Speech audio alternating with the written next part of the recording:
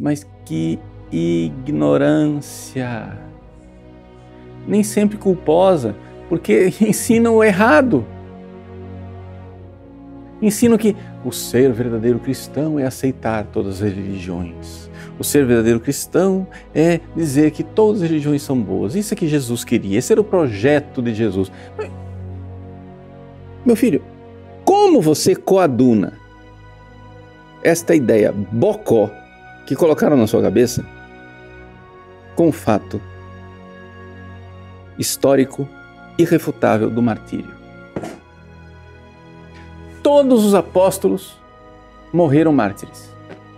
São João não morreu mártir porque Deus fez um milagre, mas colocaram ele no fogo, no, no óleo ardente e ele saiu de lá ileso. Mas era para ser mártir também. Milhares e milhares dos primeiros cristãos para não pegar. Os cristãos, milhares de cristãos teriam sido salvos e não teriam sido entregues aos leões, crucificados e, e, e assados vivos, se eles tivessem pego um punhadinho de incenso e jogado no fogareiro para adorar César. Como é que você é cristão e você participa de cultos não cristãos?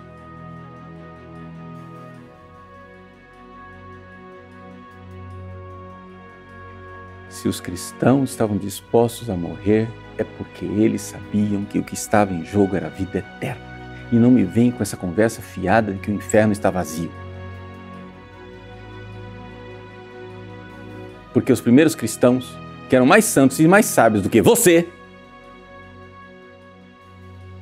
estavam dispostos a derramar o sangue.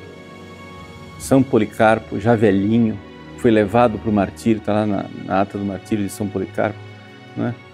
E, e o oficial romano queria que ele negasse a Cristo, ele disse: Eu sirvo a esse bom Senhor há 80 anos e ele nunca me fez mal. Por que eu faria isso com ele agora?